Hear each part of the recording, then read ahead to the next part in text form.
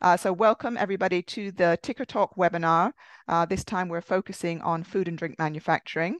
Uh, my name is Miriam Rodway. I work with the Institute of Refrigeration and we are supporting dissemination and awareness raising for the project. So um, we're really pleased to see a really good turnout for this particular webinar. I'm going to hand straight over to Catarina who will tell you a little bit more about how the project was set up and, and how it's being managed. So over to you, Kat. Thank you, Miriam. Good morning, everyone. It's great to see uh, so many people uh, attending the event. So this is our 50 uh, TICR talk, which is great. So let me, so I'm Catarina Marques. I'm a senior research fellow at London South Bank University. I'm uh, an IOR trustee and I also lead the TICR project. So TICR stands for Transport, Industrial and Commercial Refrigeration. So this is a research project. is funded by the Department for Energy Security and Net Zero. And we are a consortium of six organizations.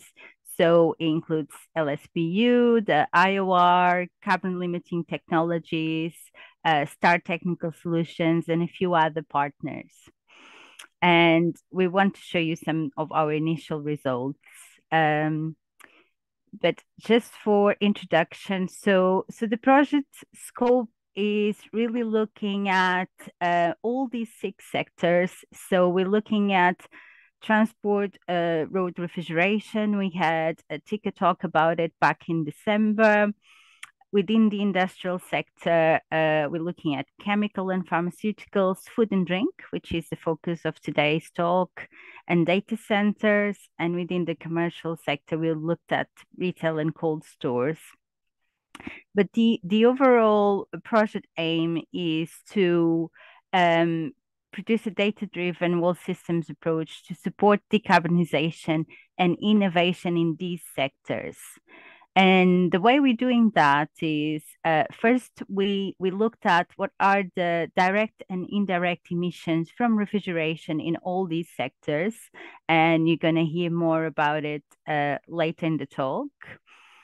But the next step is actually to develop roadmaps for the industry on how how to decarbonize, how to get to net zero.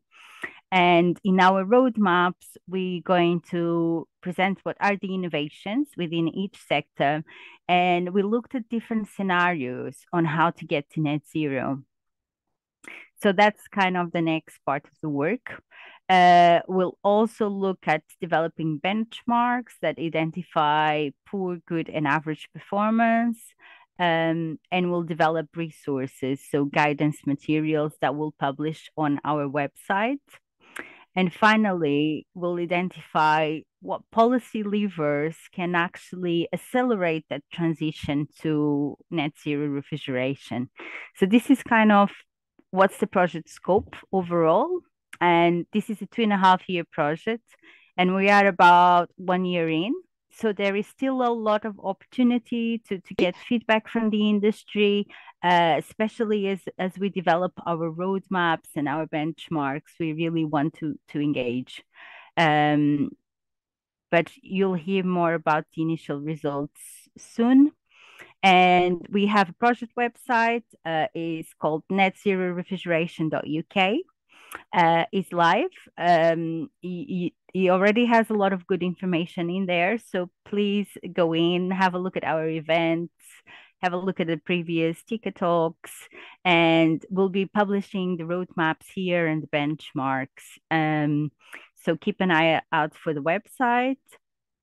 And that's it that's essentially where we are now uh, this is the the TICR team so we have all these partners working on the project and what you're going to hear more today is from carbon limiting technologies so um, Robert and James are here today, and they're going to tell you a bit um, more about how we estimated the emissions from refrigeration within the, the food and drink sector. And Dermot Cotter from STAR uh, has carried out quite a few site surveys, so we will tell you more about the findings. So I'll hand over to Robert now, and I'll stop sharing. So, Robert, over to you. Thank you, Kat, for a very good overview. Um, okay, yes. So my name is Robert Olrog, and I'm a consultant at Carbon Limiting Technologies.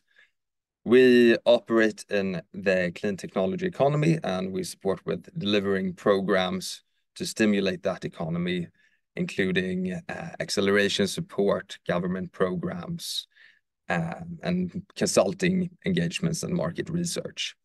For the TICR project, um, our main work area is within the industrial sector, so we're looking at food and drink and chemicals and pharmaceuticals. We'll be having a very similar webinar on chemicals and pharmaceuticals in a couple of weeks. Uh, but we're looking at emissions estimations, which this report or um, this presentation uh, will be about, but also benchmarking and road mapping for decarbonization. So specifically, this this work that we are presenting today uh, is to understand the emissions profile for the food and drink refrigeration. Um, yeah, so let's get into that. So a bit of the context is that um, the food and drink sector is the largest manufacturing in the UK. I'll provide a bit more stats later.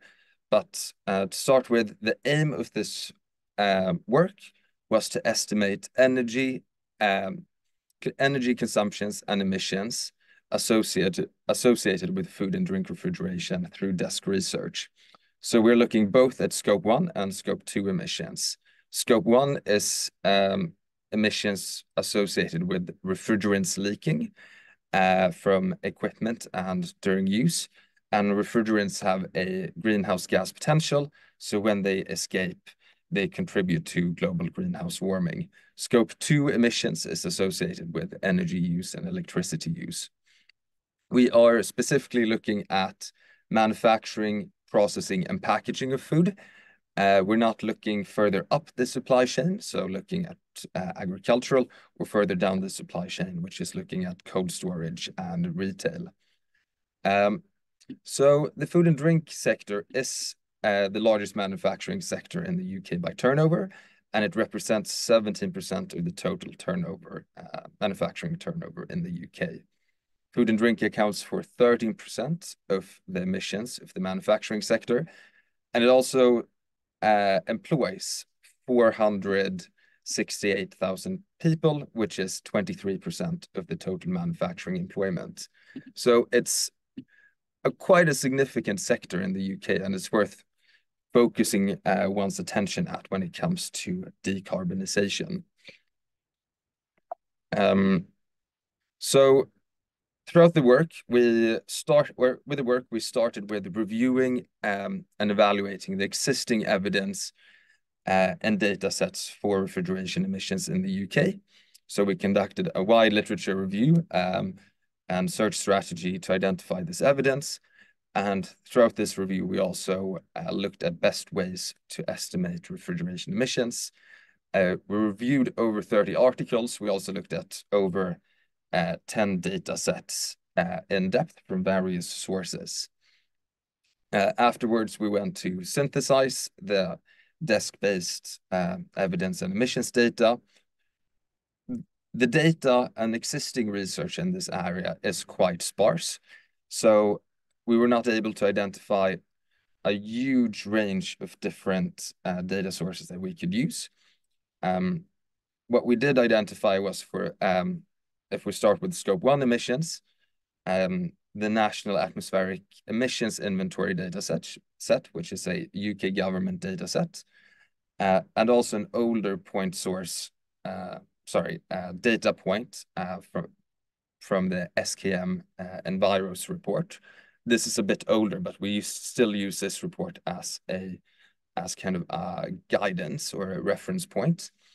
For scope two emissions, uh, so that's electricity and energy emissions, we use electricity consumption UK data, uh, which uh, comes from DESNZ, and then also we do analysis on the climate change agreement data.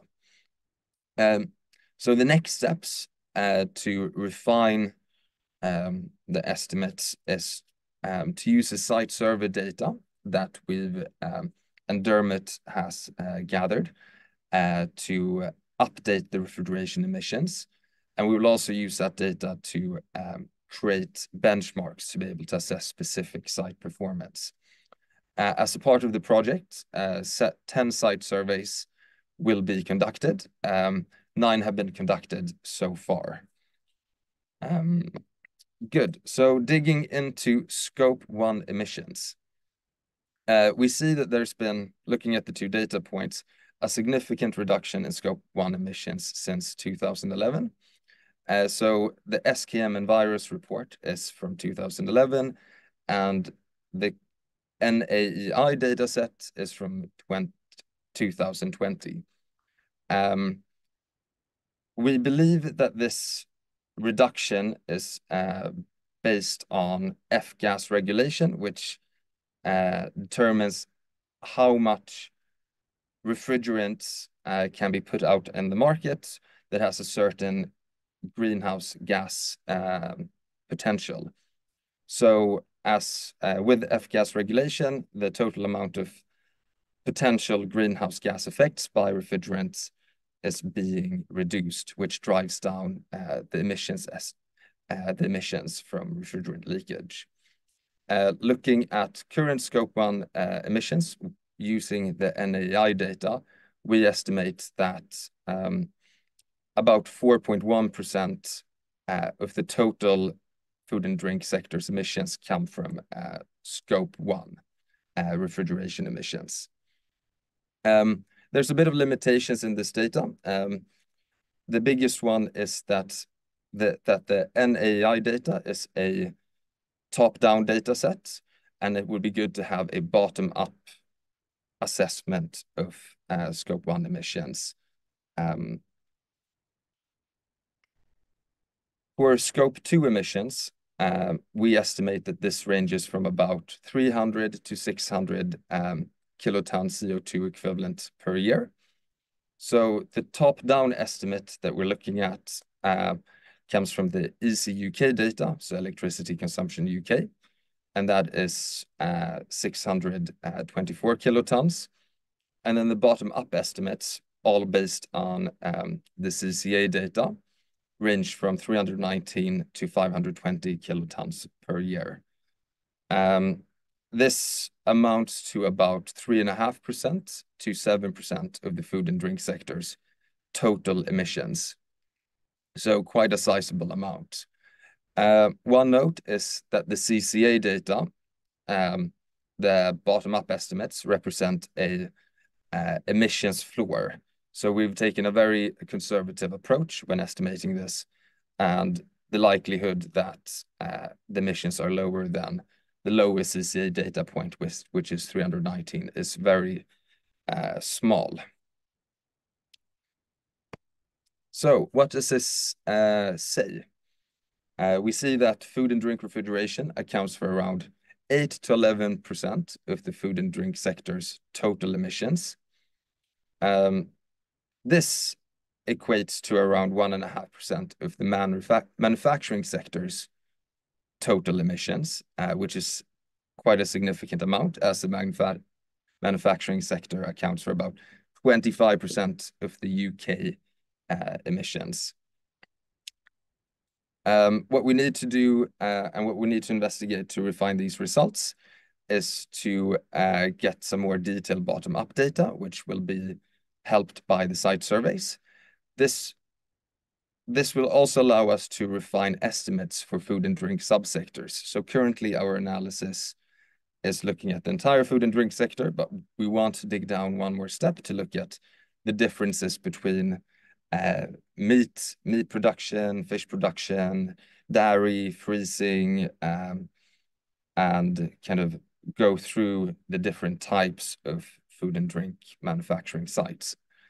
Um, so as the next steps, um, the TICR project is performing site surveys on food and drink manufacturing, and we've conducted most of these site surveys, and we will use this to uh, update the data dataset, and we will also use this to create a tool, um, a benchmarking tool, to be able to assess site performance against the wider industry. Um, So that's that for me, and I think Uh, Dermot is on next to talk about the site surveys. Thanks very much, Robert. So um, lots of data to digest. I'm sure there'll be some questions about that as we go through. So Dermot, would you like to tell us a little bit more about how your site work has, uh, what the conclusions and findings have been so far? Right.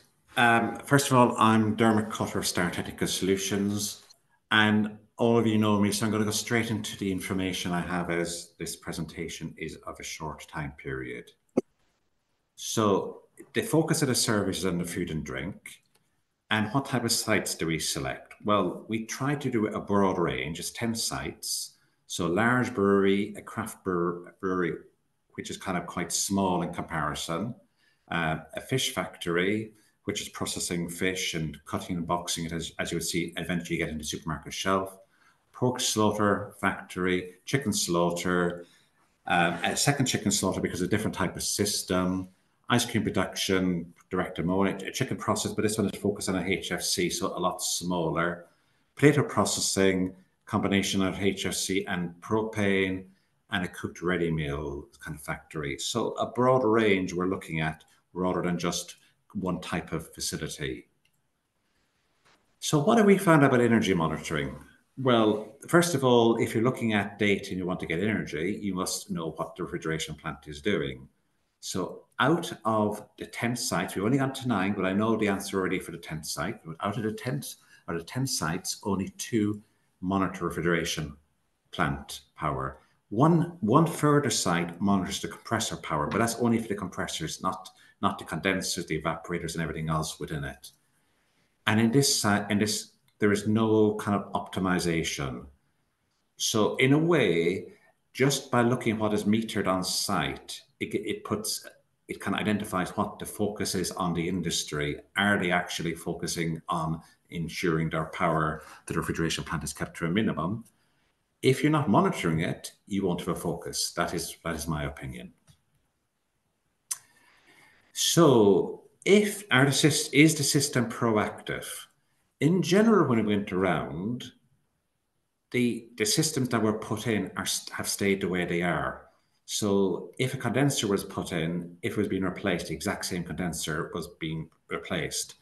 So in other words, it, there hasn't been a focus in the industry of actually improving the efficiencies of the existing systems. Also, what is clear in this industry, if you compare with a cold store industry where you have one owner might have five cold store sites, in these sites, they're quite more complex and the site engineer like manages the site and he is responsible for the refrigeration plant. But his focus in reality is if it is running, I'm not bothered about anything else because he has so much else to do on the site that the focus is just keeping the refrigeration plant running. And he hasn't really got into focus of energy efficiency. But three sites are looking at replacing the refrigeration systems. And uh, one of them is wanting to get out of HFCs but they also now want to move in energy for one, of them um, is looking at putting in heat pumps, but the plant is already 25 years old. And the other one, which I'll come to, is nearly is at the it's nearly at the end of its life because it's been left. But they they want to then focus on energy. So when it comes to F-gas logs, on site we only managed to get F-gas logs three out of six. We're actually still asking for information. They're actually going back to their contractors because they actually never knew the regulations and they had to have the F-gas logs. So there is a bit about because they're owners on site, they don't they don't know the requirements, so they don't do it, and the refrigeration contractor mustn't be have informing them that they must have F-gas logs. So that is something that needs to be dealt with in the long run. So heat recoveries and renewables. On one site there were solar panels, and on two sites there were heating water. Particularly in food factories, there's a massive opportunity for heating potable water. Um, but um, there is still, a long way to go. But this heating potable water was actually from a heat exchanger, it wasn't from a heat pump. So it was actually only low grade heat being provided. I'm now going to give you about one site, which is a bit of an extreme. There's a right mixture of them. Some of them they're kept well running, some in, in, in the middle, and some in one. But this is kind of going to one extreme of what actually happens when a site begins to get old and there isn't a real focus. So this is the ready meal site. And there was a, the main ammonia refrigeration system had a HMI. It had failed a few years ago. So on site, they couldn't even adjust the set points. You're talking about big compressors here producing an ammonia glycol plant. Uh, the VSD had failed and they switched over to fixed speed control, sort of controlling of suction pressure on the compressors because they couldn't. Um, but they, and they, but that was the way the plant was put in. So even though the plant is about 20 years old, it was actually not designed to control a glycol temperature with fixed speed suction pressure. So it wasn't. It was often overcooling the glycol. Um, the evaporative condenser were controlling on 28. Once you didn't have access to the HMI, we could see it, how it was controlling, but the ambient outside was eight degrees. So Anna was running at kind of a part load. So we'd have been expected to be running about 21 degrees condensing temperature. And as everybody knows here in the audience who are familiar with, for every one degree higher in condensing temperature, it's about 3%. So we're talking about 20%, 1% more compressor power has been used. So reality is you're talking about 18% more energy when you take into account running the fans a bit faster and, and also uh, with the compressors. So they, they had permanently hired chillers on site. There was three of them, and they were there for a number of years. And like there was flexible hoses onto them and there's large pumps. So while it isn't fixed equipment, it's kind of gives what it's something which I actually see often in food factories, long-term permanent high tower chillers to one side on left there. But then there was a HFC plant installed um, uh, about five years from R448 was converted to R449. But about two years ago, they built a building, um, an extension right in front of them. And now those condensing units, which would have been okay originally, are now recirculating air and they're actually tripping in summer. And on site, when we went there, they didn't actually appreciate it. Said, "Oh, this this tripping only happened in the last year and or last two years, and it's only the last two years since they built built, built building." So there wasn't that understanding. But their own refrigeration contractor never identified the main problem to them either. And then there was condensing units located in a, in in the roof void. So in, in a food factory, there's a roof void and a condensing unit is in there. So you kind of you're putting you're recirculating warm air into condensing unit in the roof void. But that wasn't just it. Uh, there was then air handling units in the roof void, and this air handling unit was drawing fresh air into the production area, which was cooled down to 8 degrees C. But that was taken from the same location where the heat was being rejected from the condensing unit. So you're actually taking not cold air from outside, but the warm air produced from the condensing units that were rejected into the roof void, and, and, and then. So in, in a way, there, there is a lots of little areas here. While this is showing everything on one site, what, what we find is sites typically have, have something of each. So what are the trends? I already mentioned about the F-gas logs not easily accessible through the study. And this, this has been actually the same when I dealt with cold stores. Elevated condensing temperatures due to their settings. And I really want to highlight is, is there is one thing having elevated condensing temperatures due to the settings, and that is because uh, the electronic expansion valves hasn't been set up, but they're working. I know they haven't been designed for it. Um, air recirculation and dirty air cool condensers and gas coolers. That is a that is a that is commonly what we've seen. But the one thing when we ask about the maintenance contracts, there is absolutely nothing mentioned in maintenance contracts about of about energy. So in a way, the energy just doesn't seem to be a, a key goal of that sector at the moment, and and really they're not they're not actually, you know, dealing with their contractor to ensure their plant is being maintained efficiently. And really, everything I'm looking at, the the evidence is pointing at the surveys that all the maintenance is focused on is towards reliability. So, in a way, I have a few questions from from all of this, and it kind of goes back to how do you move from where you are? Because you know when when you're talking about dirty condensers, and then a new building being built in front of existing condensers, and your technicians not seeing it, you're kind of coming in as what is a training in the industry? In my opinion, if a building had just been built in front of the condensers, as a technician, I'd be going out the back there, putting my hand saying, "Why are you built this there? We need to move those condensers. Why are they that position. Also, the regulations, well, the F-gas regulation, what is what is what is happening with it? Do we need to change it that the refrigeration contractor must inform the end user?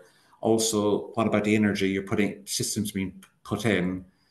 And I haven't really gone into detail of existing system of new, newer systems, but in general, whatever is put in will be there for the next 20 years. So if you don't put in a, a, a high efficiency refrigeration system, we're going to be living with it now till at least 2045. And in some sites, and in some bigger factories or central plants, it's going to be 2050 and beyond. Um, F-gas is adequate?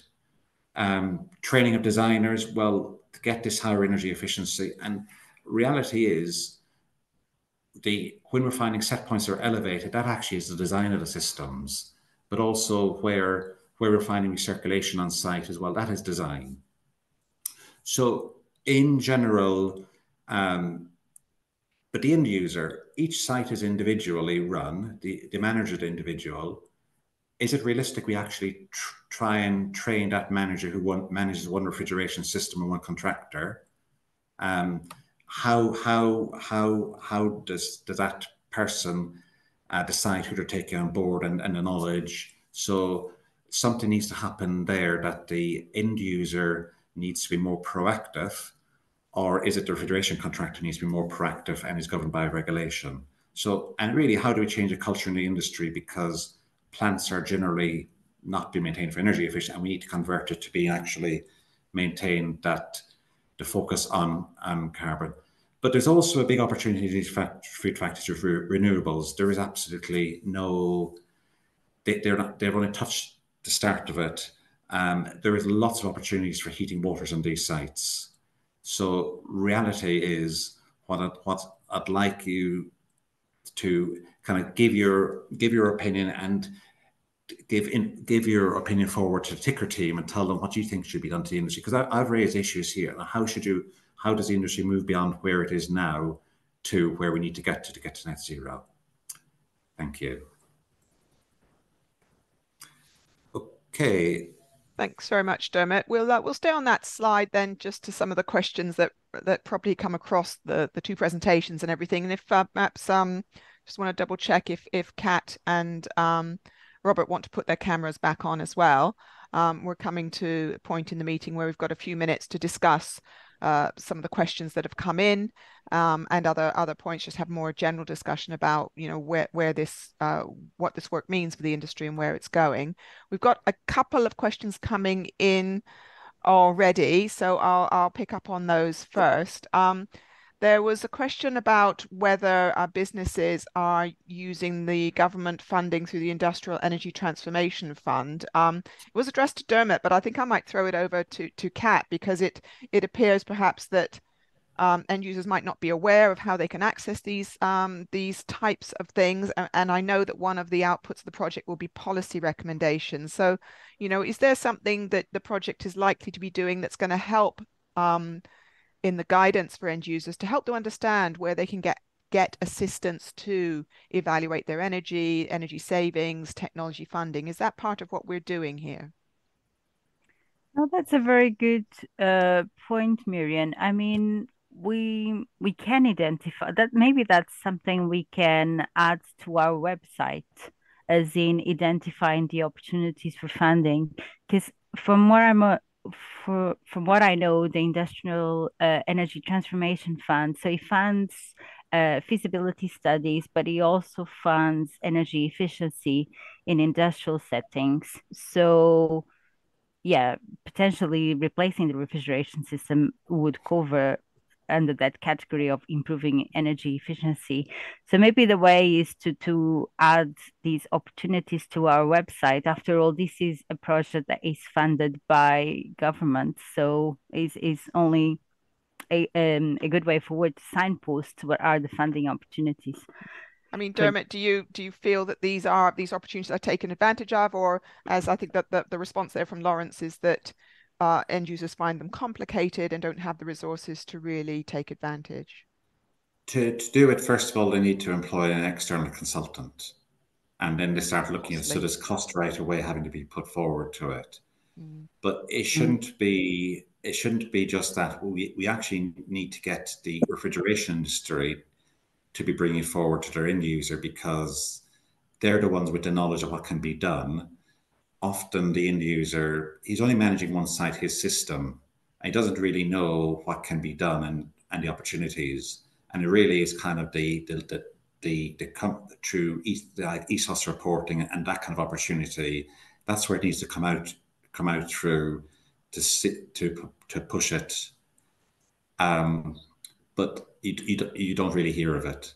So um, from, from Star Refrigeration, we, we just don't hear people going for that grants. We only know one or two companies that have gone for it over time. So yeah, there may so, be some awareness, but also some guidance on how to best best access massive, those yeah, things if we're we're looking at transformation. Um, Robert, one for you about the energy estimates um, and, and the accuracy. I mean, I, I think you covered it um, in terms of what you were saying, but maybe to explain a little bit more about the top down, bot, bottom yeah. up idea. I mean, I assume that on top down, what you mean is, well, we look at the national picture and make an estimate of how much of that might be for this sector. Is, is that kind of where it comes from? Yeah, um, I looked at that question. It's a great question, and also the, the the kind of second part of the question about relating consumption to production, which is also very interesting. So um, both estimates that we use, uh, the main ones, the top-down ones, are uh, uh, government uh, statistics. So that provides a level of confidence that's quite high. But whenever you do top-down data sets, you do apportion um, energy or emissions based on some input from surveys or interviews. So there's an uncertainty there.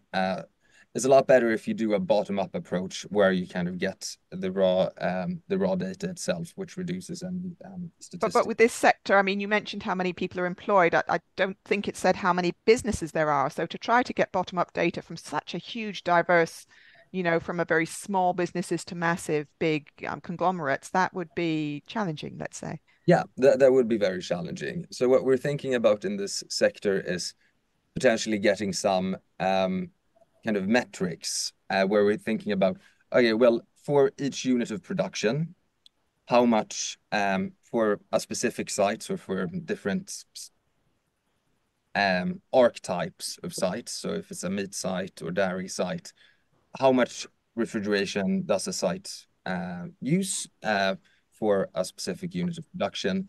And then you can scale that up still using a bottom-up approach to, to the sector, depending on total output. Um, so that's something we're we're thinking about. Is that's that part of the benchmarking bit so that they could identify where their efficiencies or their performance was compared to an average, say? Exactly. So for those benchmarks, we want to develop uh, metrics based on um, more uh, more relative terms on how, depending on how much you produce, you know, how much should you use, and then you have specific uh, efficiency metrics that you can be looking at and this could potentially be used then to scale up uh, to to look at a bottom-up estimate for the uh, emissions for the entire sector. Great, thank you. I mean, that's obviously going to be a very complicated model. So towards the end of the project, perhaps before we see anything coming out on that, is that? Hmm. Yeah, as what mightn't be mentioned is where we don't actually have data, we're going to be looking at the systems, seeing how they're running, and based upon what we're seeing, estimating what energy that refrigeration plant is using on the site as well. So we're, we're actually going to be feeding information in as an estimate. But it's the best we can do. The whole the whole the whole key here is um, something needs to be done about energy. And the big thing is if, if you're not monitoring it, you can't improve it. And the first thing is the industry, the industry as, as a sector needs to actually get more monitoring in because um, you, you can't get improvement without knowing what you're doing already. Mm. Yeah, yeah th we... that's the first phase, kind of understanding the size and shape of the, the problem. And you need to do that by the, the getting the data and analyzing it. And then from there, you can kind of think about what actions yeah. are there and how do you prioritize them and, and or sort them by impact or by, by payback or easiness. Yeah. Um, yeah, and we've been having those discussions at the institute technical meetings as well about, you know, what's the point of having these big data if they're only estimates, but they are a starting point.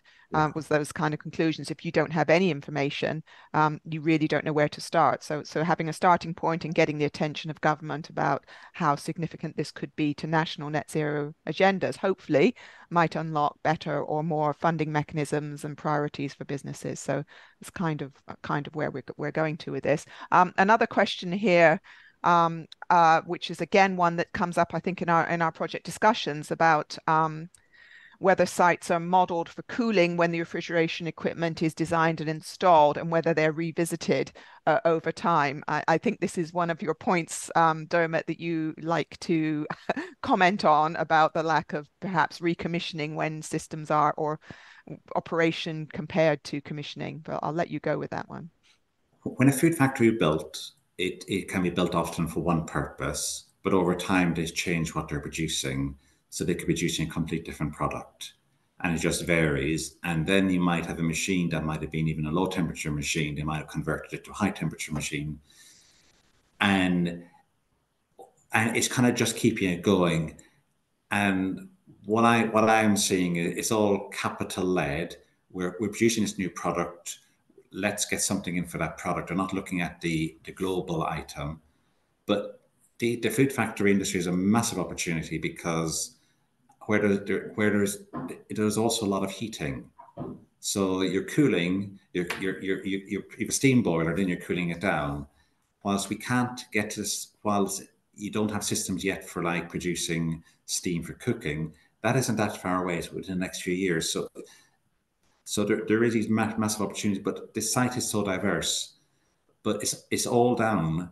The, the person who makes a decision here is is the engineering manager on site who has no refrigeration knowledge and is depending on his contractor. And he the knowledge he gets is only as good as the contractor he has. But what we're finding from the surveys, the refrigeration equipment that's often put in by the contractor isn't that efficient. So, and and but I can't ever expect the end user to be the expert. It'll have to come from the contractor, and that's where there's lots of trainings required.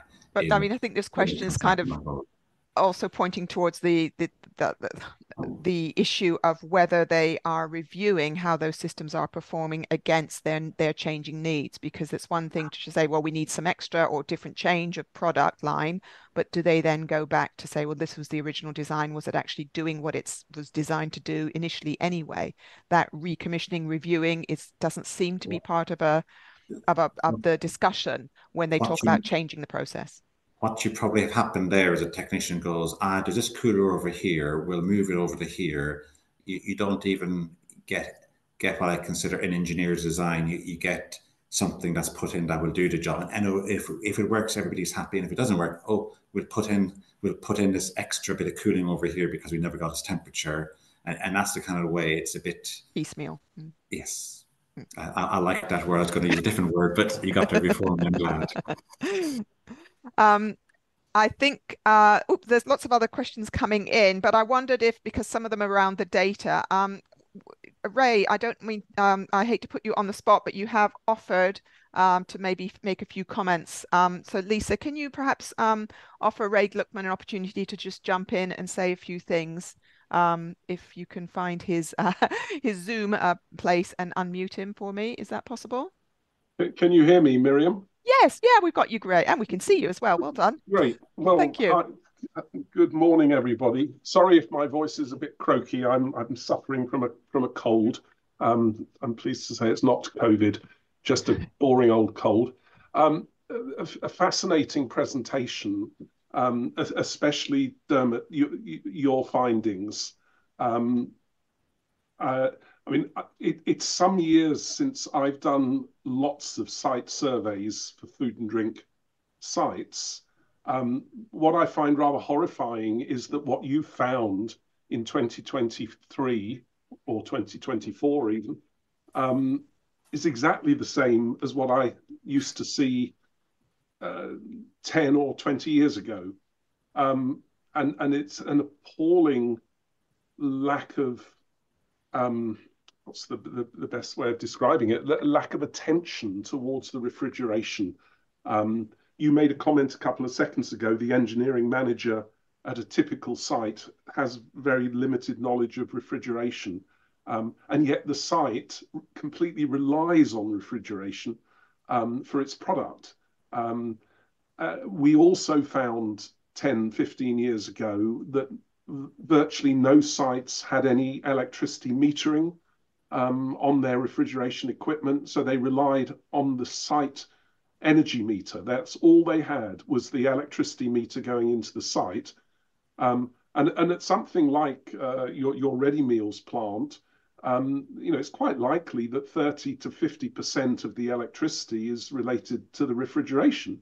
Um, but they don't put any meters on, you know, and it's such a cheap op option to put some metering in. I, my, my own view is there should be a law that says if you use more than uh, you know, whatever number, twenty thousand pounds worth or something of electricity, you should have a sub meter on it because, with as you've quite rightly said, if you don't measure it, you can't possibly manage it right.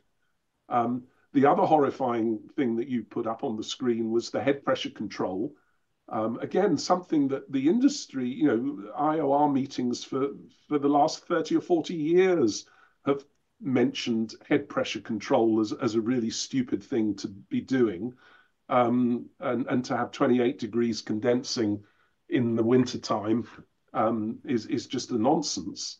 Um, and it, it, and it has such a big impact. You know, the, the things that you've listed are likely to mean that that site is using 25% more electricity or possibly even more than that th than it needs to for the equipment that it's already got. Um, so, you know, the, the, this culture change requirement is, is spot on. Um, I, I, was interested in, in uh, uh, Jenny McDonald's question um, do sites model for cooling? And again, my experience is unfortunately not really. Um, you know that they they put in quite often the wrong type of cooling system. Um, in in breweries, for example, you'll you'll have a glycol system, um, a single temperature level. Off, I mean, it used to be down at minus ten. More often now, maybe minus five. Um, but you're using minus five. You're making minus five glycol which means you need about minus 10 ammonia. And what are you using it for? Well, part of the job is to cool beer to minus one. So, yes, you need it at that temperature. But a bigger part of the job, in, particularly in summertime, is to cool water coming into the site at about 15 degrees C down to four. And you're using ammonia at minus 10. Um, so they've done no modeling of saying, you know what, we should have split our refrigeration system into two or more parts, one for the warm loads and one for the cold loads. Um, but the food and drink industry um, and industrial refrigeration in general, my experience is they don't take that level of care. Um, I mean, Dermot's mentioned training a lot, so it's it's from his point of view maybe knowledge, but is training enough? I mean, this is where we're going with this project, has given these yeah. issues. You know, how are we going to make market change if they haven't changed in 15 years? I remember that food and drink project, Ray, with with Star and Cool Concerns at the time. Yes. You know, these are the same issues. So so how can we there's lots of opportunities. People are more interested in net zero. There's a government aim. There's, you know, global phase downs of or of refrigerant. There's um, corporate social environmental responsibility is this enough to get the change or do we need to think about something radically different? I mean comments in the box or ray or anybody else yeah. ray's very actively involved in policy measures in uh, globally and and obviously has a lot of expertise. Uh, it will be interesting to see what what DESNZ could think about through um, particularly through the climate change agreement mechanism. I mean the, the, the beauty about the climate change agreements is that you've got nearly every food and drink manufacturing site is part of one of, of a number of different climate change agreements. And there's there's a possibility, perhaps through those agreements, that uh, DESNZ could make it a requirement that there's more monitoring, um, that sites that do use a lot of refrigeration have to report it in some way. At the moment, they don't. Um, and we, um, we were also talking about whether some of the savings that, that are achieved through that should be uh, ring fenced for improvement in refrigeration or yeah. energy rather than left as simple savings off the bottom line. Uh, that was a discussion recently. Yeah. Lots in, in, in, a way, I think more responsibility needs to be put onto the contractor because he's that that is where the knowledge is, and and they're the people who have the most influence. And if you have a good refrigeration contractor and you and they're and they're energy focused, they will tell the you the end user of the issues and the potential savings, and they'll do about it. But the issue is, we don't often have the technicians with the ability to write an energy report because they haven't been trained about energy. A technician is an F as a an ammonia qualification, and and and Miriam, you can go on a two day training course, and you can I can give you one. So it's that easy.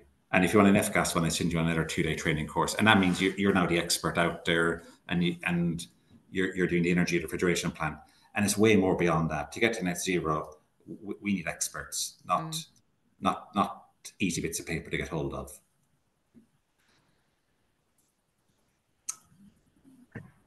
let's try and end on a positive, shall we? So let's try and think. I, I, I think I think there's a lot of positiveness that you can get out of this. Um, I, I believe there's a way forward, but we actually, as an industry, need help from the government, and we need to be very and we need to ask the government for help. And it is actually ensuring we we up the minimum qualifications of doing training, which is good for industry, but all, but also we're also delivering. We're moving to the world of heat pumps within the refrigeration industry as well for food factories eventually there might be a boiler at a food factory. So we're providing the heating and the cooling as an industry. So we need the education to get into our industry, and, and we need help. But also, uh, we, we, need we need we need we need we need to give them be given a carrot, but also I believe it's a bit of a stick required. And I mean, the nice thing with this project is is DESNZ funded, so they are listening. They are looking at what is yeah. what is possible with the CS now as well, and with the F-gas regulation, UK still not declared uh, what its program is going to be. So uh, for the next legislation, so we have opportunities perhaps with this project and with some of this evidence to to influence. Uh, Robert, did you want to add anything? Uh, final comments or positive notes of opportunities?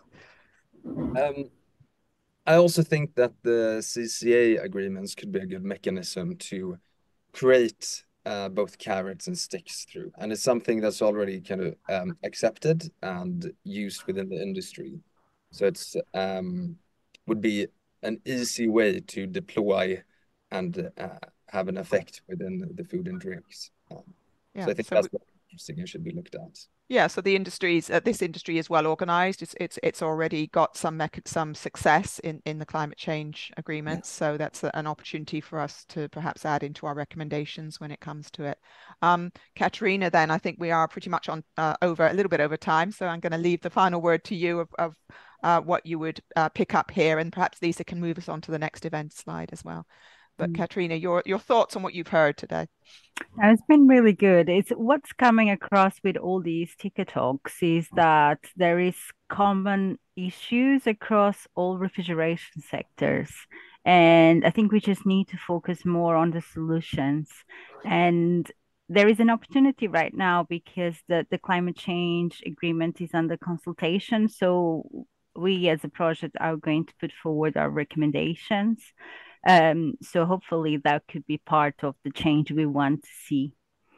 Um, but thank you very much for everyone that attended. It has been a, a great webinar, and um, yes, I think we'll. Um, I think the key message from our side is we'll we'll we identifying the issues, but we also want to put forward the solutions yeah, in many ways, the the um, issues are, are quite well known already, certainly within the refrigeration air conditioning industry. Um, but but raising that awareness of, of these um, issues and their potential solutions within that sector um, or each end user sector is going to be one of our challenges as well. So I'd like to add my thanks to everybody for the, the presentations and for everybody who added into the questions and for Ray for um, sharing some of his knowledge as well with us on a short notice there.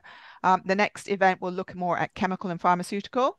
Um, that's in February. We will be continuing with this series, uh, looking less at a sector base and more uh, potentially more at some of those outcomes of the project as they start to come together, things like how the benchmarking might work, um, some of the uh, potential recommendations for roadmap technologies uh, and different ways we're trying to get these findings out. What you've seen today is really just interim findings, some of the ongoing discussions and ongoing work. We want to engage with you um, as um, representatives of both the refrigeration industry and the end users in the sectors and those involved in training with those expertise. So we'll be continuing to offer lots of opportunities.